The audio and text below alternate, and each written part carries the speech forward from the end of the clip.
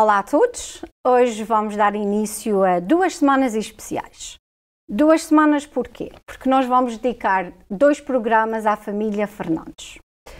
Uma família oriunda do continente, de Linhares da Beira, porque eles já me deram umas, umas lições de localização, mas uma família que partilha muitos valores de trabalho, de união, de partilha e vamos perceber como.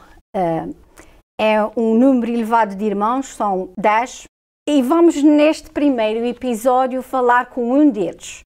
Vamos passar um bocadinho mais de sempre com o Vitor, porque infelizmente o Vitor foi uh, o, o, membro desta família que passou por uma, uma infelicidade na sua vida. Infelizmente teve que acompanhar o seu filho com uma doença rara e ele vai nos explicar como, em que infelizmente o seu filho Noah acabou por falecer, mas o Vitor vai partilhar com todos nós o que é que aconteceu e como é que ele conseguiu, eh, de alguma forma, homenagear o seu filho todos os dias da sua vida. E é por isto que é esta forma especial que nós vamos hoje partilhar convosco, a família Fernandes, mas em duas semanas, porque uma semana era muito pouco para que todos vós soubessem o que eles fizeram.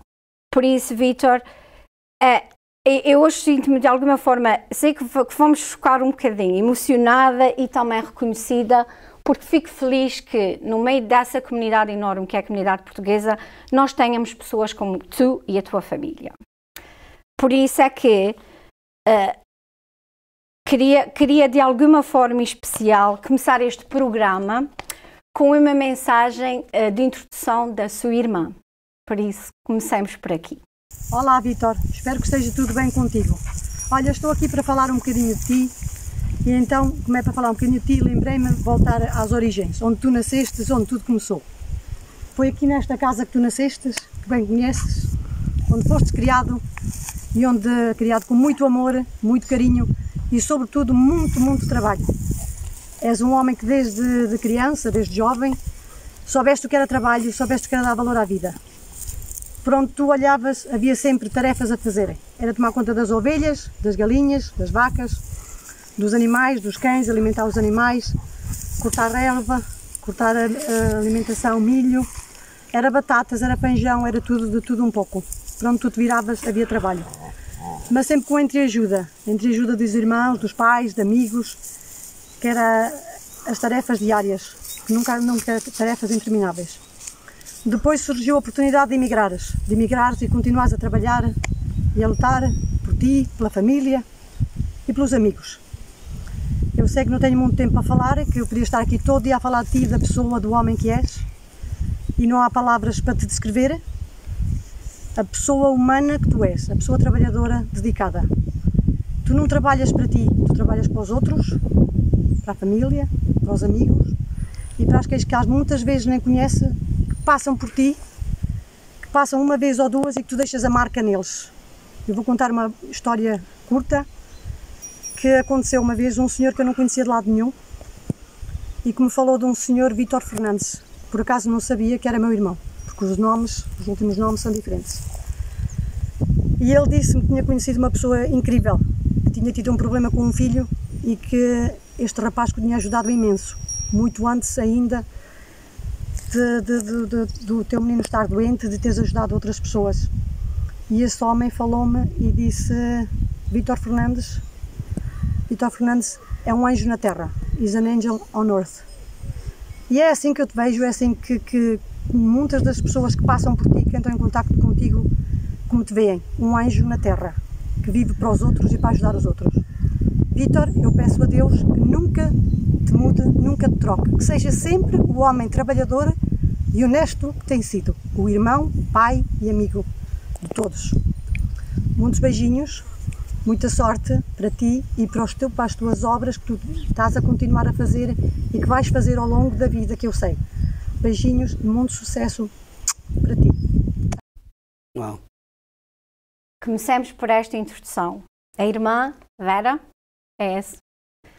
Maria, esta é a minha irmã Maria. Essa é a Maria. Maria. Ok. Esta, e agora queremos esclarecer: são 10 filhos, 7 a viver nos Estados Unidos, sim. 3 a viver 3 em, Portugal. Portugal. A mãe ainda viva?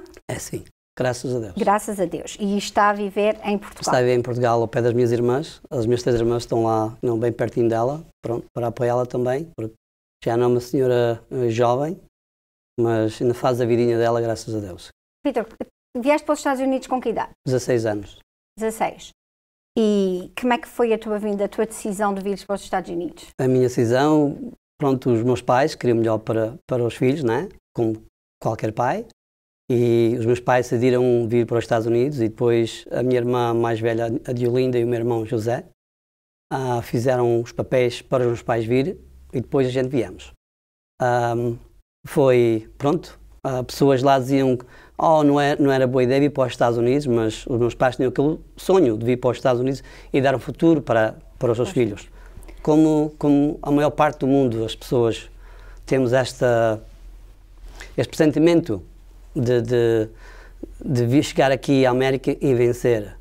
Ah, portanto, nós fomos, graças a Deus, todos trabalhadores, todos, é, nós, vamos, nós vamos acabar por conhecer e por isso é que eu quero que fique aqui essa, essa introdução, porque nós vamos conhecer mais membros da família Fernandes e vamos perceber o, as razões e o que todos eles acabaram por, por vingar e ficar a fazer aqui nos Estados Unidos da América.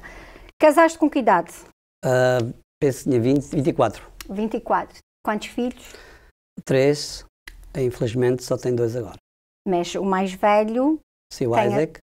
23 tem, anos. Tem atualmente 23. Sim, sim. E a Isabela o... tem 14. 14. E o nosso Noah? O nosso Noah, se fosse vivo hoje, tinha 18 anos. Tinha 18 anos. Como é que, e, vamos focar aqui nesta infelicidade da tua vida, Desculpa. mas também... 19, 19. 19. Mas uh, para que as pessoas também percebam, e o facto de fazer um programa só contigo é pela dimensão da tua, da tua obra. Quando, quando, é que foi diagnosticado que o Noah tinha um problema de saúde? O Noah tinha 5 anos de idade quando foi diagnosticado com, com Milas, que é um, um, problema que ataca o nosso DNA do nosso corpo. Pronto, é uma doença rara, mas é uma doença que quando uh, ativa no teu corpo, aí progressa rapidamente. Se tu és jovem, se por exemplo é uma pessoa de idade, não progressa tão rápido e yeah. podes ver a tua vida normal um, um pouco limitado, mas normal. Mas especialmente as crianças, progride muito rápido, porque as crianças estão sempre a crescer e aquilo espalha-se para o corpo. Quando te diagnosticaram essa doença do nó, eles disseram que a doença não tinha cura pelo facto de ter... Sim, não, que a doença do nó não tinha cura. Um, e pronto, naquela altura isso é impossível. Tem que haver alguma coisa. E uh, eu lembro da doutora dizer, uh, em Boston, no Children's Hospital, a dizer para a gente, a dizer um, isto é uma doença muito, muito ruim e ela dizia, vocês têm que ver vídeos para vocês terem, verem o que esta doença é. Para vocês, para isso, vocês entregarem, entregarem-se no como esta doença tem que lidar para o futuro. E pronto, eu, a minha maneira de ser, logo desde o princípio, disse, não queria não pensar no futuro, queria pensar dia a dia para ele para ele estar eh, pronto, confortável e, normal, o máximo possível. E, e, pronto, foi muito difícil, muito difícil. Uh, tenho que agradecer a minha família, os meus amigos que sempre me apoiaram e estou aqui talvez hoje por causa deles, não é? Claro. Mas foi, foi qual foi os primeiros sinais que vocês detectaram no Noah para ver? Porque ele era uma criança 100% normal. Sim, era, foi, ele foi jogar a bola. Um, foi quando os meus pais fizeram 5 anos de casado e fizemos aqui uma festa para eles. Um, e no próximo fim de semana, no domingo, eh, tinha arrestado ele para jogar a bola. Foi jogar a bola uma vez e pronto, está um bocadinho de calor, foi em setembro, a primeira fim de semana de setembro, e um, ele Estava, ficou muito vermelho durante o jogo, depois tirámos a fora e assim, pronto, achámos que era normal, pronto, ele ficar um bocadinho assim quente. Uh, no próximo dia da manhã, quando ele acordou e a berrar pela mãe que ele não conseguia ver. A sua mãe entrou em pânico, chamou-me, eu talvez não possa dizer hoje onde eu estava quando eu recebi aquele telefonema, no 95 Norte, uh, e é um telefonema que nenhum pai quer receber, ou uma mãe, pronto. E infelizmente foi, foi de helicóptero para o Children's Hospital, onde veio, you know, vieram a diagnosticar a doença dele e pronto, foi um, uma etapa de 10 anos. Não foi, foi o tempo que durou desde que o Noah foi sim, diagnosticado sim. até que, que ele tivesse 10 anos. 10 anos. Sempre, sempre os tratamentos todos feitos em Boston? Tudo em Boston, porque aqui local uh, não era muito difícil lidarem com, com as doenças que ele tinha. Pronto, que era muitos remédios, eram o Noah deixou de ir para a escola e deixou de ter uma. Um... O Noah, sim, deixou, depois foi para uma escola especial, especial e depois chegou, aquilo progressia, né? progredia a doença dele. Uh, onde parava de, de, andar, depois, não, infelizmente, não podia andar mais, depois a barriguinha dele não trabalhava mais, depois tinha que ser um, um, um tubo para ele comer, depois aquilo não trabalhava mais o estômago, só bocadinho a bocadinho o, todos os, uh, os órgãos dele pararam. Começaram a parar. Começaram a parar. Como, como sentiste sempre que da parte, pronto, os Estados Unidos são, né, não é só um mito, é a realidade, em termos de, de evolução e da ciência e de tudo, tu achaste que em termos médicos o, o vosso filho recebeu sempre o melhor tratamento ou, uh, como é que foi no, no, teu, na tua maneira de, de avaliar o desempenho médico? Aqui os Estados Ora bem, um, eu, eu pronto, eu e a minha esposa fomos a toda a parte experimentar, fomos à Columbia University em New York, fomos a, nós fizemos a, a stem cell, células uh, naturais, uh, também víamos que trabalhava, ajudava, mas o problema é que ele tinha strokes e aquilo levava atrás para baixo. Uh, fomos à França, viu um doutor, experimentámos tudo, mas ao fim e ao cabo, acho que aqui ainda temos, temos um, bem adiantados com o resto do mundo, comparar com o resto do mundo.